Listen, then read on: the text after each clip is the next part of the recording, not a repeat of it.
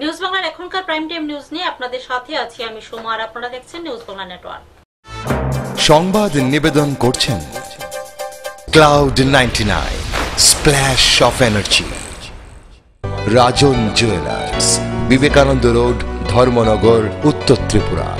সহযোগী নিবেদক। আমার অঙ্গে অঙ্গে তোমার ছোঁয়া আমায় সম্পূর্ণ করেছে। এখন বিস্তারিত। সৎ বাবা কর্তৃক ধর্ষিতা নাবালিকা। এই ন্যাক্কারজনক ঘটনাটি ঘটেছে উত্তরের কদমতলা থানাধীন রানীবাড়ি এলাকায়। পাষণ্ড বাবা সজল ভূমিজের বিরুদ্ধে কদমতলা থানায় মামলা দায়ের করেন ধর্ষিতার মা। এই ঘটনায় উত্তেজনা বিরাজ করছে এলাকা জুড়ে। কদমতলা থানাধীন সীমান্ত এলাকা রানীবাড়িতে সজল ভূমিজ নামে এক ব্যক্তি তার প্রথমা স্ত্রীর মেয়েকে একাকিত্বের সুযোগ নিয়ে ধর্ষণ করে। এই নাবালিকা ধর্ষণের অভিযোগ করেন খোদ নাবালিকার মা। ওনার এই ধর্ষক স্বামীর বিরুদ্ধে কদমতলা থানায় একটি মামলা দায়ের করেন, যার নম্বর চুয়ান্ন বাই উনিশ। যদিও খবর লেখা পর্যন্ত কদমতলা পুলিশ ঘটনার তদন্ত শুরু করে দিয়েছে। ধর্ষিতা নাবালিকা মেয়েকে নিয়ে কদমতলা থানায় আসেন ধর্ষিতার মা। তারপর শারীরিক পরীক্ষার জন্য কদমতলা গ্রামীণ হাসপাতালে নিয়ে যাওয়া হয়। পুলিশ তার শারীরিক পরীক্ষার পর ঘটনার সত্যতা প্রকাশ করে। কদমতলা থানার ওসি কৃষ্ণদন সরকার ঘটনার সত্যতা প্রকাশ করে জানান, সৎ বাবাকে গ্রেপ্তার করে থানায় নিয়ে আসা হয়। বর্তমানে ধর্ষকের বিরুদ্ধে মামলা হাতে নিয়ে তদন্ত শুরু করেছে কদমতলা থানা। এদিকে ধর্ষিতা নাবালিকা মেয়ের মার অভিযোগ, দীর্ঘদিন ধরে তার সৎ বাবা মেয়েটির উপর কুদৃষ্টি দিয়েছিল। তার একাকিত্বের সুযোগ নিয়ে তাকে ধর্ষণ করে বলে অভিযোগ ধর্ষিতার মায়ের।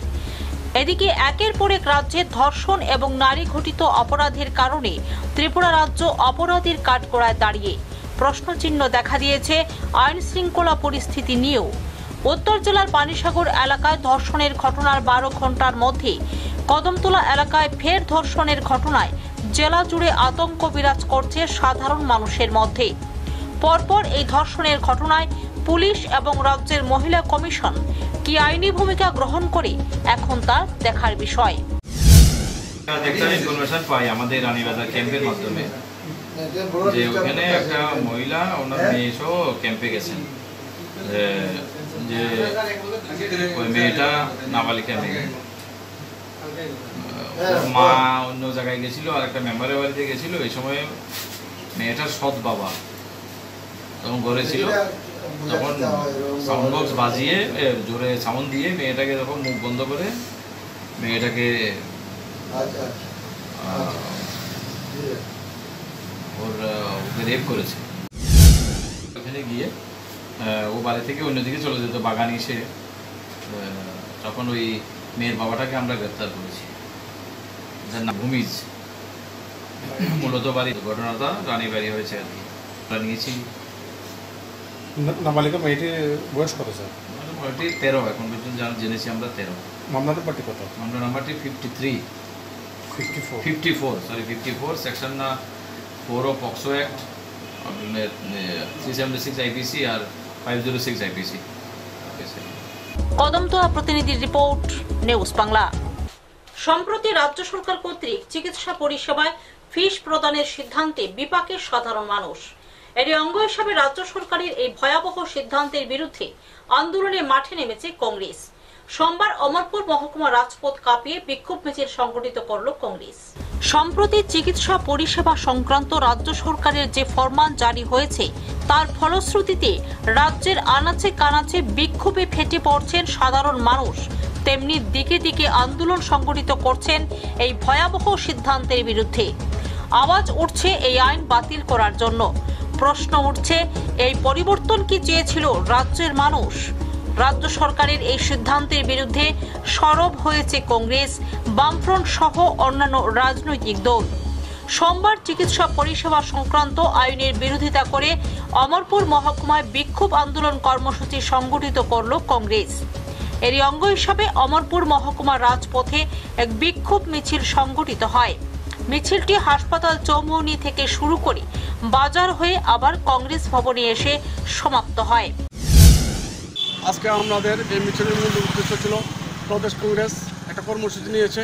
এই কর্মসূচির অঙ্গ হিসেবে আমাদের অমরপুর ব্লক কংগ্রেস এবং অম্পি ব্লক কংগ্রেসের যৌথ উদ্যোগে আজকে আমরা বিক্ষোভ মিছিল সংগঠিত করেছি। এই বিক্ষোভ মিছিলটা হলো রাতের অন্ধকারে একটা টুকটুকে সিদ্ধান্ত নিয়েছে রাজ্যের স্বাস্থ্যমন্ত্রী তথা মুখ্যমন্ত্রী বিপ্লব কুমার দেব। যেটা জনস্বার্থ বিরোধী এবং গরিব বিরোধী সিদ্ধান্ত, এই সিদ্ধান্তটা হলো যে প্রত্যেক, প্রত্যেকটি রুগীকে হসপিটালে যে আগে বিনাভাবে চিকিৎসা করা হতো, বিনা পয়সার মাধ্যমে চিকিৎসা করা হতো, এই চিকিৎসাটাকে উনি গুরুত্ব না দিয়ে এই বর্তমানে যে একটা আর্থিক অবস্থা চলছে, দিকে দিকে যে আত্ম অর্থের অভাবে মানুষ অনাহারে নিদ্রা নিদ্রা যাপন করছে এবং ডেনার দিয়ে আত্মহত্যা করছে, এই অবস্থার মধ্যে রাজ্যের মুখ্যমন্ত্রী বিপ্লব কুমার দেব তথা রাজ্যের স্বাস্থ্য দপ্তর দায়িত্বপ্রাপ্ত উনি একটা টুকটুকু সিদ্ধান্ত নিয়েছেন যে সিদ্ধান্তটা রাজ্যের আপামার জনগণের, গরিব মানুষের জনবিরোধী। অমরপুর প্রতিনিধির রিপোর্ট, নিউজ বাংলা। তপশিলি জাতি কল্যাণ দপ্তরের আর্থিক সহযোগিতায় বকাফা এবং জুলাইবাড়ি ব্লকের মোট দশজন বেনিফিশিয়ারিকে পাঁচটি করে উন্নত প্রজাতির ছাগল প্রদান করা হয়। এদিনের এই ছাগল বিতরণী অনুষ্ঠানে উপস্থিত ছিলেন বগাফা ব্লকের পঞ্চায়েত সমিতির চেয়ারপারসন দেবাশিস মজুমদার সহ অন্যান্যরা। শান্তিরবাজার প্রাণী সম্পদ বিকাশ দপ্তরের সহ অধিকর্তা কার্যালয়ে তপশিলি জাতি কল্যাণ দপ্তরের আর্থিক সহযোগিতায় বাগাফা এবং জুলাইবাড়ি এই দুটি ব্লকে মোট জন বেনিফিশিয়ারিকে পাঁচটি করে ছাগল প্রদান করা হয়। এই ছাগলগুলি সিরহি নামক উন্নত প্রজাতির ছ মাস পরপর ছাগলগুলি প্রত্যেকটির ওজন প্রায় পঁয়ত্রিশ থেকে পঁয়তাল্লিশ কেজি হবে এবং প্রতিনিয়ত প্রায় আড়াই লিটার দুধ দেবে বলে জানায় প্রাণী সম্পদ আধিকারিকরা, যার ফলে ছাগল চাষিরা খুব তাড়াতাড়ি ভালো টাকার মুনাফা করতে পারবে। এদিনের এই ছাগল বিতরণী অনুষ্ঠানে উপস্থিত ছিলেন বগাফা ব্লকের পঞ্চায়েত সমিতির chairman Debashis Majumdar, BSC chairman Gouri Shankar Reang Shantirbazar প্রাণী সম্পদ সহ অধিকর্তা ডক্টর মৃণাল কান্তি দত্ত এবং দক্ষিণ জেলার প্রাণী সম্পদের উপ অধিকর্তা ডক্টর প্রসাদ দাস সহ আরও অনেকেই। জন্য আমরা ফোর ওয়ান মানে চারটে ফিমেল, একটা মেল, এই রেশিওতে আমরা প্রদান করেছি এবং আশা করি আগামী কয়েক বছরের মধ্যে বিশেষ করে শান্তিবাজার এবং জুলাইবাড়ি এই নির্দিষ্ট এলাকায় এই ছাগলগুলি প্রজননের মাধ্যমে আরও সংখ্যা আরও বৃদ্ধি পাবে। শান্তির বাজার প্রতিনিধির রিপোর্ট নিউজ বাংলা। অসমের পাথারকান্দি ব্লকের লোয়ারপুয়া আদর্শ বিদ্যালয়ে অটল টিঙ্কারিং ল্যাবের আনুষ্ঠানিক উদ্বোধন করলেন DC M S Mani Vannan. এই ল্যাবের মাধ্যমে শিক্ষার্থীরা আগামী দিনে আরও নতুন নতুন জ্ঞান আহরণ করবে বলে অভিজ্ঞ মহলের অভিমত। দৈনন্দিন জীবনে চলার পথে বিজ্ঞানের অবদান অপরিসীম। এই উদ্দেশ্যকে পাথেয় করে বিভিন্ন আধুনিক যন্ত্রপাতির মাধ্যমে স্কুল পড়ুয়াদের কর্মমুখী করার উদ্দেশ্য নিয়ে এই প্রথমবারের মতো সীমান্ত জেলা করিমগঞ্জের পাথারকান্দি ব্লকের লোয়ারপোয়া আদর্শ বিদ্যালয়ে অটল টিঙ্কারিং ল্যাবের আনুষ্ঠানিক উদ্বোধন হল সোমবার। কেন্দ্রীয় মানব সম্পদ উন্নয়ন মন্ত্রণালয়ের অধীন নীতি আয়োগের উদ্যোগে বৃহত্তর এলাকার শিক্ষাবিদ ছাত্রছাত্রীদের উপস্থিতিতে লাল ফিতা কেটে আনুষ্ঠানিকভাবে এই শুভ কর্মসূচির সূচনা করেন করিমগঞ্জ জেলা শাসক এম এস মণি ভান্নান। এতে উপস্থিত প্রত্যেক বক্তাই সরকারের এ ধরনের উদ্যোগকে সাধুবাদ জানান এবং আগামী দিনে এই ল্যাবের দৌলতে শিক্ষার্থীরা আরও নতুন নতুন বেশ কিছু জ্ঞান আহরণ করবে বলে তারা প্রত্যাশা ব্যক্ত করেন। অনুষ্ঠানের বিভিন্ন বক্তারা বলেন, ড্রোন থেকে শুরু করে থ্রিডি প্রিন্টার সহ সব ধরনের যন্ত্রপাতির সম্ভার রয়েছে এতে। অনুষ্ঠানে অন্যান্যদের মধ্যে উপস্থিত ছিলেন সার্কেল অফিসার এল খিংতে পাথারকান্দির জেলা পরিষদ সদস্য শান্তিলাল সিনহা, প্রবীণ শিক্ষাবিদ শ্যামাপদ দে ছাড়াও এলাকার বিভিন্ন অভিভাবক সহ শিক্ষা প্রতিষ্ঠানের প্রধানরা। এদিনের গোটা অনুষ্ঠানটি সুচারুরূপে সঞ্চালনার দায়িত্বে ছিলেন বিদ্যালয়ের অধ্যক্ষ বিপ্লব কর্মকার সহ বিষয় শিক্ষক উত্তম শর্মা এবং মৌ ব্যানার্জি। শেষে সমবেত কণ্ঠে জাতীয় সংগীত পরিবেশনের মধ্য দিয়ে অনুষ্ঠানের সমাপ্তি ঘোষণা হয়। পাথারকান্দি প্রতিনিধির রিপোর্ট, নিউজ বাংলা। পাথারকান্দির বিতর্কিত মাছ বাজারে গড়ে ওঠা অবৈধ দোকান ভেঙে গুড়িয়ে দিল মৎস্যজীবীরা। এই ঘটনায় স্থানীয় জনমনে প্রশ্নচিহ্ন দেখা দিলেও নীরব স্থানীয় প্রশাসন। পাথারকান্দির বিতর্কিত মাছ পাচারে অবৈধভাবে নির্মাণ করা বিভিন্ন দোকানসমূহ গুড়িয়ে দিয়ে ফের সোমবার থেকে নতুনভাবে মাছের দোকানের পসরা সাজিয়ে বসলেন বিভিন্ন মৎস্যজীবীরা। এ ঘটনায় স্থানীয় জনমনে নানা প্রশ্নচিহ্ন বিরাজ করলেও বিষয়টি নিয়ে সম্পূর্ণ নীরব রয়েছে প্রশাসন। নিয়ম মোতাবেক কোনো অবৈধ বেদখল মুক্ত করতে হলে প্রশাসন সহ আদালতের গুরুত্ব অপরিসীম। কিন্তু এক্ষেত্রে এমনটা হবার খবর নেই। জানা গেছে, বিগত রাজার আমলে পাথারকান্দিতে মাছ বাজার স্থাপনের জন্য রাজবাড়ির কিছু জেলেরা রাজার কাছ থেকে পৌনে এক বিঘে জমি অধিগ্রহণ করে তাতে মাছের বাজার স্থাপন করেছিলেন। অতপর তা চলতে থাকে প্রায় কয়েক যুগ ধরে। গত কয়েক বছর ধরে বিভিন্ন জেলেরা বাজারের প্রতি নজর না দেওয়াতে এতে কবজা করে নেয় কিছু অসাধু ব্যবসায়ীরা। ইতিমধ্যে পুরনো মাছ বাজারের জমি জবরদখল করে নির্মাণ করে নেওয়া হয় বেশ কোটি পাকা দোকান। এ নিয়ে সম্প্রতি তোড়জোড় শুরু করেন জেলে সম্প্রদায়ের লোকেরা। তারা অবৈধ দখলদারদের দোকান গৃহ হটিয়ে নেবার অনুরোধ করলেও তাদের কথায় কাজ হয়নি বলে জানা গেছে।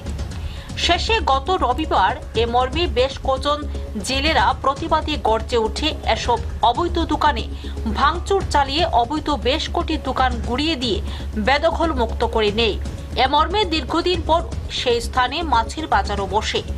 এই ঘটনায় এলাকার সচেতন মহল খুশি ব্যক্ত করে বলেন যে পাথারকান্দির ভিতর বাজারটিও বেদখলের কবজায় পড়েছে। ওটার জন্য বিহিত ব্যবস্থা করতে হবে। জানা গেছে বেদখল মুক্ত বাজারের পূর্বে রয়েছে জাতীয় সড়ক, পশ্চিমে সুনীল বদ্দের লন্ড্রি, উত্তরে হাজি সাহেবের দোকান এবং দক্ষিণে গোপী দাসের দোকান। জানা গেছে, এই বাজারের একাংশ ভূমি এখনও বেদখল রয়েছে, যা আয়ত্তে আনতে শীঘ্রই বাগানের মূল জেলে সম্প্রদায়ের দখলদাররা প্রয়াস চালাবেন। পাথারকান্দি প্রতিনিধির রিপোর্ট, নিউজ বাংলা। সময় হলো ছোট্ট একটা বিজ্ঞাপন বিরতির ফিরছে বিরতির পর সঙ্গে থাকুন। এবার ছুটিতে পরিবার প্রিয়জনদের নিয়ে বেড়াতে যাবার কথা ভাবছেন? উমরা, হজের ও ট্যুরিস্ট ভিসার কথা ভাবছেন?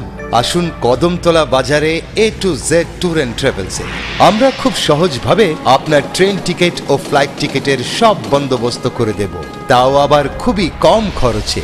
এছাড়া A to Z tour and ট্রাভেলসে আপনারা পাবেন মানি ট্রান্সফার এবং সব ধরনের অনলাইন সার্ভিসের পাশাপাশি ডোমেস্টিক এবং ইন্টারন্যাশনাল ফ্লাইট টিকিটের লো ফেয়ার তাই এবার ভারতবর্ষ তথা বিশ্বের যে কোনো জায়গায় ফ্লাইট টিকিট ও ট্রেন টিকিটের জন্য আসুন A to Z tour and ট্রাভেলসে main road Kadamtala বাজার উত্তর Tripura phone nine eight six two three double zero four zero one এবং nine four eight five one five nine double two nine A to Z Tour and Travels, IRCTC authorized rail e-ticketing counter.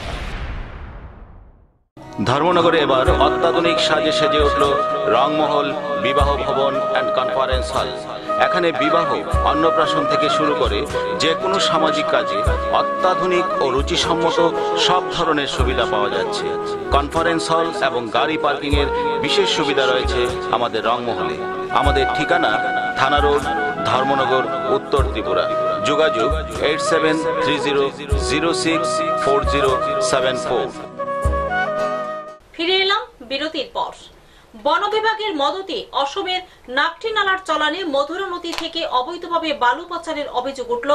অভিযোগের তীর বনমন্ত্রী পরিমল শুক্লবদ্দের দিকেও। এ বিষয়ে অবৈধ বালু পাচার বন্ধে এবং মন্ত্রী সাহেবের নিজ অবস্থানের স্পষ্টীকরণে সরব হয়েছে জনগণ।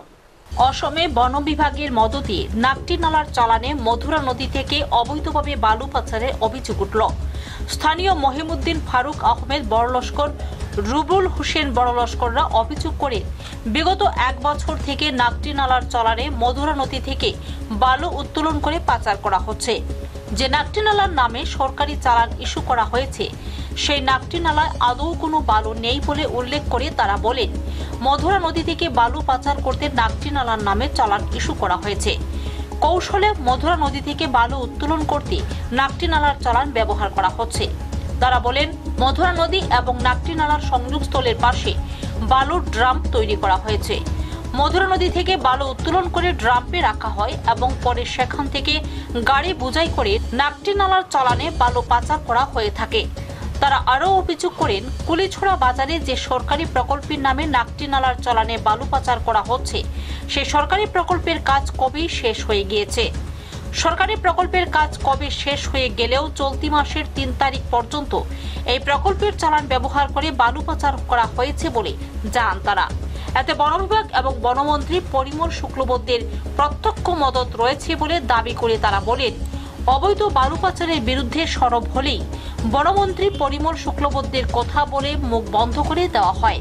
বনমন্ত্রী অবৈধ বালু পাচারে জড়িত রয়েছেন কি? এমন প্রশ্ন উত্থাপন করে বনমন্ত্রী পরিমল শুক্লবৈদ্যকে নিজের অবস্থান স্পষ্ট করার পাশাপাশি অবৈধ বালু পাচার বন্ধে পদক্ষেপ গ্রহণ করতে দৃষ্টি আকর্ষণ করেন তারা। করা সত্ত্বেও যে মধুরা বালুর যে মহাল নাকটির মহাল যেটা, নাকটি নালার যেটা পারমিট আদৌ নাকটি নালার কোনো বালু নাই। তাও এই নাকটির চালান দিয়া মধুরার নদীর থেকে মাল বাইর হইয়া যায়। আমরা বারবার অভিযোগ করা সত্ত্বেও এটা রেঞ্জার স্যারে এটা কোনো অ্যাকশন নিছুন না। তো এটা নিয়ে আমরা আবারও অভিযোগ করলাম, যদি আগামীতে এটা তাই বন্ধ না করুন এটা আমরা আরও বিশেষভাবে আন্দোলন লামো যেহেতু এই নাকটিনালার চালান কইয়া মুদ্রার মালগুলা যার, আর আদতে নাকটিনালার কোনো বালু নাই, কোনো মালও উঠে না। তো এটা আমরা রেঞ্জার স্যারে কমপ্লেন করা সত্ত্বেও এটা খেনে তাই দেখুন না এটা আমরা অভিযোগ। এটা তার মানে দেখার লাগিয়া আমরা অনুরোধ করি আর যাতে এই চালানটা তাই অতি সত্ত্বর বন্ধ করতাম শিলচর থেকে বিজিত দাসের রিপোর্ট নিউজ বাংলা। রোলার গাড়ি থেকে ছিটকে পড়ে গুরুতর আহত হয় বিষ্ণু দাস নামে এক ব্যক্তি। পরে আহত ব্যক্তিকে অনুকুটি জেলা হাসপাতালে নিয়ে যাওয়া হয়। কিন্তু কর্তব্যরত চিকিৎসকের গাফিলতির কারণে বিষ্ণু দাসের মৃত্যু হয়েছে বলে দাবি মৃতের পরিবারের।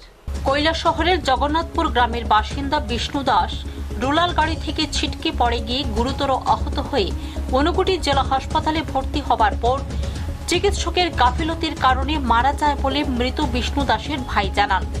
বিষ্ণু দাস পেশায় শ্রমিক। সোমবার সকাল সাড়ে আটটায় নিজ গ্রাম থেকে বিষ্ণু দাস এক রোলার গাড়িতে উঠে ফটিকরায় যাচ্ছিল। ধনবিলাস এলাকার কাছাকাছি পৌঁছতে হঠাৎ করে রোলার গাড়ি থেকে ছিটকে পড়ে গিয়ে বিষ্ণু দাসের ডান পায়ের উপর দিয়ে রোলার গাড়ির চাকা উঠে গিয়ে ডান পায়ের সমস্ত হাড় ভেঙে যায়। সঙ্গে সঙ্গে বিষ্ণু দাসকে ঊনকোটি জেলা হাসপাতালে নিয়ে আসলে কর্তব্যরত ডক্টর নীলমণি দেপরমা বিষ্ণুর ডান পায়ে সেলাই দিয়ে হাসপাতালে ভর্তি করান। এরপর সারাদিন ডাক্তার একবারও এসে বিষ্ণুকে দেখেননি। প্রায় দশ ঘণ্টা পর রাত এগারোটার সময় ডক্টর নীলমণি দেপরমা এসে বিষ্ণুর খোঁজ খবর নিয়ে জানান রক্তের প্রয়োজন। বিষ্ণুকে রেফার করতে হবে। বিষ্ণুর অবস্থা ভালো নয়। বিষ্ণুর পরিবারের তরফে ডাক্তারকে জিজ্ঞেস করে যে রক্তের গ্রুপ কি। প্রায় এক ঘণ্টা পর ডাক্তার রক্তের গ্রুপ জানান বলে বিষ্ণুর ভাই জানিয়েছেন। এরই মধ্যে রাত সাড়ে বারোটা নাগাদ বিষ্ণু মারা যায়। কৈলাসহর থানা ঘটনাস্থলে এসে খোঁজ খবর নেয় এবং পুলিশ ইউডি মামলা নিয়েছে। মঙ্গলবার দুপুরে বিষ্ণুর মৃতদেহের পোস্টমর্টেম হয়। এ ব্যাপারে বিষ্ণুর ভাই এবং পুলিশ অফিসার জ্যোতিষ দাস বলেন, গতকালকে সকালবেলা দশটার দিকে জগন্নাথপুর থেকে একটা রুলার লইয়া শ্রীপুর যাওয়ার পথে ধনবিলাস ধনবিলাসের মাঝামাঝি স্থানে রুলার থেকে স্লিপ হইয়া সে ফইরা গেছে ফেরার পরে শুধু পায়ের পাতাটা দুটা পায়ের পাতাটা শুধু তার একটু ইয়ে হয়েছে, ক্ষয় হয়েছে। তো আমরা ভগবাননগর হসপিটালে আনছি আনার পর এখানে তারা নির্মল দেববর্মা স্যারের ইনফর্ম করছে তারা ড্রেসিং রুমে যারা আছে তারা প্রার্থনা করছে এটা নির্মল দেববর্মা স্যারের ইনফর্ম করার পরে তার আইছে তার আইয়া ওটিতে নেওয়ার পরে ওটিতে নিয়ে অপারেশন করিয়া আপনার বেডে দিছে দেওয়ার পর স্যার যে গেছে স্যারের আর কোনো যোগাযোগ নাই। স্যার আমরা তাই নিয়ে অপারেশন থিয়েটার থেকে রুগী দেওয়ার পর থেকেই রুগীর ব্লাডিং শুরু হয়েছে আমরা বারবার স্টাফ রুমে আইয়া যোগাযোগ করছি রুগীর ব্লাডিং চলছে। স্টাফ রুম থেকে যা ওষুধের কথা কইছে আমরা আইনা দিছি। কি ওষুধ বা কি আসল বিষয় কী তারা লেখেন আমরা তো এটা বুঝতেছি না। আমরা তারা কথা মতো ওষুধ আইনা দিছি। এখানে হয়েছে ঘুমের ওষুধও খাওয়ানো হয়েছে রুগীর চিৎকারের লাগিয়া ঘুমের ওষুধও খাওয়ানো হয়েছে রুগীরা কটার সময় নিয়ে আইছেন? রুগীরা তো আমরা সকালবেলায় নিয়ে আইছি। সকালবেলা দশটা সাড়ে দশটার দিকে। ডাক্তার দশটার সময় দেখছে? ডাক্তার আইতে আইতে একটু লেট হয়েছে বারোটা প্রায় বাজছে। দুপুর বারোটায়? দুপুর বারোটা। এরপরে আর কটার সময় আইছে ডাক্তার? এরপরে আর আইছে রাত্রে দশটার সময়। এর মধ্যে আর আইছে না? এর মধ্যে আর আইছে না আমরা বারবার স্টাফ রুমে ইনফর্ম করছি গিয়া। তো আপনারা কি মনে করেন মানে মানে মানে কে লেগে বাড়িটা মারা গেছে? বাইকটা তো ওই কারণে যখন ডাক্তার সাহেব আইছেন রাত্রে দশটার সময় আইয়া কইতাছেন রেফার লাগবো রুগীর অবস্থা ভালো না ব্লাড লাগবো। মুহূর্তের মধ্যে আমরা একদম ইয়ে হয়ে গেছি কে কীভাবে ব্লাড জোগাড় করতাম কীভাবে কই লইয়া দিতাম এইসব চিন্তা করতে করতে প্রায় এগারোটা নাগাদ স্যার আইছে দশটার সময় এরপরে রুগীর রুগীর যে ব্লাড লাগে কোন কোন ব্লাড লাগে রক্তের গ্রুপ কিতা এটা দিতে দিতে দিতে তারা আরও প্রায় চল্লিশ থেকে পঁয়তাল্লিশ মিনিট সময় লাগছে রুগীর কি রক্তের গ্রুপটা কিতা? তো আপনি কি মনে করেন ডাক্তারের গাফিলতির কারণে মারা গেছে? হান্ড্রেড পার্সেন্ট ডাক্তারের গাফিলতির কারণে আমার রুগী মারা গেছে। তো আপনার ভাইয়ের নাম কি? আমার ভাইয়ের নাম বিষ্ণু দাস। তো ঘটনাটা কোন জায়গায় হয়েছে? ঘটনাটা তো হয়েছে তোমার এই দনবিলাস আর বরতলের মাঝামাঝি। তো বাইজের মানে রোলারের পা- নিচে পড়ছে মানে কোন পাটা ভাঙছে? ওই বাম পায়ের পাতাটা একটু বেশি ইঞ্জুরি উঠেছে আর ডান পায়েটা একটু ডান পায়ের শুধু বুড়ি আঙ্গুলটা ভাঙছে আর অল্প জায়গা একটু চলছে গুরুতর জখম এই লইয়া আইছে আবার হসপিটাল ভর্তি ট্রিটমেন্ট চলছে। ট্রিটমেন্ট চলাকালীন রাত্র এগারোটা পঁচিশে মারা গেছে। এর নামটা হইল বিষ্ণু দাস বয়স হলো আইত্রিশ বাবা হইল মৃত রাজেন্দ্র দাস বাড়ি হইল জগন্নাথপুর তিন নম্বর ওয়ার্ড থানা হইল কৈলাসহর। তো এখন এটার ওই মৃত্যুটা কি- কীভাবে হয়েছে এটা লেগে বডি ফুসফোরণ করছি। ফুসফোরণ করে বডি তারা গার্জেন সেন্টারে করে দিছি। এটা ডাক্তারে পিএম পেলে কখন যাব যে মৃত্যুর আসল কারণ কি। প্রাথমিকভাবে কি যাব কি- জানা গেছে? মানে কীভাবে মারা গেছে? প্রাথমিকভাবে তো যারা উপস্থিত সাক্ষী আছে আত্মীয়রা কইছে হে রুলারের সহকারী ড্রাইভার আসলো পাও পিছলে চাক্কার নিচে আইছে। ফাউ দিয়ে হাঁটুর নিচে ফাউ দুটা আড্ডি আড্ডি ভাঙছে। এই পাওয়া থেকে দেবাশিস দত্তের রিপোর্ট, নিউজ বাংলা। তেলিয়ামুড়া মহকুমার অন্তর্গত ত্রিপুরা বস্তি অঙ্গনওয়াড়ি কেন্দ্রের বেহাল দশা। সরকারি বরাদ্দকৃত খাবার থেকে বঞ্চিত হচ্ছে কচি কাঁচা শিশু থেকে শুরু করে গর্ভবতী মহিলারা। সংশ্লিষ্ট দপ্তরের দিকে একরাশ ক্ষোভ উগড়ে দিলেন এলাকাবাসী। ত্রিপুরা বস্তি নামটা শুনলেই একসময় আটকে উঠত মানুষ। তেলিয়ামুড়া শহর থেকে প্রায় কুড়ি কিলোমিটার গেলে আঠারোমুড়া এডিসি ভিলেজের তেতাল্লিশ মাইলের পর আরও প্রায় দশ কিলোমিটার ইটসোলিং রাস্তা ধরে ত্রিপুরা বস্তিতে যাওয়া যায়। একটা সময় কিছুই ছিল না এই এলাকায়। সংবাদ প্রতিনিধিরা খবর সংগ্রহে পাহাড়ের চড়াই উতরাই জঙ্গল পেরিয়ে যেতে হতো। তখন তাদের অনেকগুলি দাবি প্রতিনিধিদের কাছে তুলে ধরত এলাকাবাসী। এর মধ্যে একটা দাবি ছিল এলাকায় একটি অঙ্গনওয়াড়ি কেন্দ্র খুলে দেবার। সেই মোতাবেক সংবাদ প্রতিনিধিরা সরকারের কাছে সংবাদের মাধ্যমে তুলে ধরেছিলেন তাদের দাবিগুলি। সংবাদে সাড়া দিয়ে বেশ কয়েক বছর আগে এই গ্রামে গড়ে ওঠে মুঙ্গিয়া কামের নিবিড় শিশু উন্নয়ন প্রকল্পের অন্তর্গত একটি অঙ্গনওয়াড়ি কেন্দ্র। বর্তমানে তার অবস্থা বেহাল। সঠিকভাবে এই কেন্দ্রের পরিষেবা পাচ্ছে না ওই ত্রিপুরা বস্তির শিশু থেকে গর্ভবতী মায়েরা। ছাগল গরুর আস্তানায় পরিণত হয়ে আছে বিদ্যালয়টি। অন্যদিকে দিদিমণি রনিয়া দেববর্মা এবং আইসিডিএস এর সিডিপিও সুপারভাইজাররা আছেন সুখনিদ্রায়। অতি সত্বর সরকার ব্যবস্থা না নিলে কেন্দ্রটি একেবারে বন্ধ হয়ে যেতে পারে বলে ধারণা এলাকাবাসীর। হ্যাঁ, ওই সাপটাখানে কোনো কোনো সময় আয়ে। কোনো সময় আয় না এরকম ব্যবস্থা চলে আর কি। তো ইয়াদের বাচ্চারা কীভাবে পড়াশোনা করে? বাচ্চা তারা কই পড়াশোনা করাইব? আর ওই তারা আয়ই না আইলেও তাড়াতাড়ি তারা যাওয়ার লাগে বেশি ইয়ে করে ফটাফট যাওয়া যাইব। নাম কি? অঙ্গনের নাম নাম তো রানিয়া দেববর্মা দিদিমণি তো। এখানে যে প্রেগনেন্ট লেডি আসেনি যারা অঙ্গনাদিত খায় আছে। তারা খিচুড়ি পায়নি তারা। খিচুড়ি দেয় আইলে আইলে দেয় না আইলে তো দে- দেয় না দূরই। কম বেশ দেয় আর কি। আইলে তো দেয় না, আইলে তো দেয় না। তেলিয়ামুড়া প্রতিনিধির রিপোর্ট, নিউজ বাংলা। মঙ্গলবার উদয়পুর টাউন হলে রিফর্মিস্ট সোসাইটির উদ্যোগে অনুষ্ঠিত হয় তিন দিন ব্যাপী কত্থক নৃত্য কর্মশালার উদ্বোধনী অনুষ্ঠান। প্রদীপ প্রচলনের মাধ্যমে এই কর্মশালার উদ্বোধন করেন গোমতী জেলার সভাধিপতি স্বপন অধিকারী। জানা যায়, আন্তর্জাতিক খ্যাতি সম্পন্ন কত্থক নৃত্যশিল্পী সুবীর ঠাকুর কর্মশালায় প্রশিক্ষণ দেবেন। রিফর্মিস্ট সোসাইটির উদ্যোগে উদয়পুর টাউন হলে অনুষ্ঠিত হয় তিন দিন ব্যাপী কত্থক নৃত্যের কর্মশালা। মঙ্গলবার সকাল এগারোটায় প্রদীপ প্রজ্বলন করে কর্মশালার উদ্বোধন করেন গোমতী জেলা সভাধিপতি স্বপন অধিকারী। অনুষ্ঠানে প্রধান অতিথি হিসাবে উপস্থিত ছিলেন উদয়পুর পুর পরিষদের চেয়ারম্যান শীতল চন্দ্র মজুমদার। বিশেষ অতিথি হিসেবে উপস্থিত ছিলেন রিফর্মিস্ট সোসাইটির সভাপতি বিভাস চন্দ্র রায়।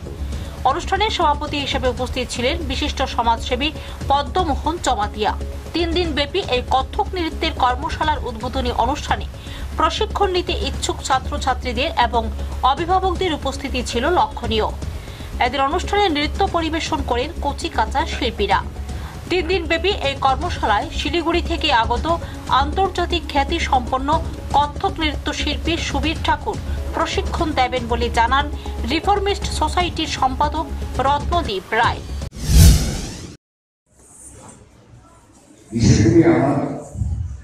আমাকে খুব আনন্দ দেয়। বর্তমান যুগে যে সিনেমা ও নৃত্য এগুলিকে আমি খাটো করছি না। বা গান হয়। এগুলি আর এই যে আমাদের এই সংস্কৃতিটা, ভারতবর্ষে, এটার মধ্যে অনেক তফাৎ আমার মনে হয়। জানি না কে কীভাবে নেয় এটার মধ্যে একটা আলাদা প্রাণ আছে। এই সংস্কৃতি যার ঘরে আছে, গান, বাজনা, নৃত্য, সেই পরিবারে প্রত্যেকটা লোকের মানসিক চিন্তা ভাবনা। আর যে পরিবারে নাই, সেই পরিবারের যে মানসিক চিন্তা ভাবনা লোকেদের মধ্যে একটু তফাৎ আছে। এটা কেউ স্বীকার করুন আর নাই করুন এটা আমি অন্তত স্বীকার করি। কারণ এরা যে একটা সুস্থ সংস্কৃতি নিয়ে চিন্তা ভাবনা কম থাকে। উদয়পুর প্রতিনিধি রিপোর্ট, নিউজ বাংলা। এখনকার মতো প্রাইম টাইম নিউজ এ পর্যন্তই। আমাদের পরবর্তী সংবাদ দেখার জন্য চোখ রাখুন নিউজ বাংলার পর্দায়।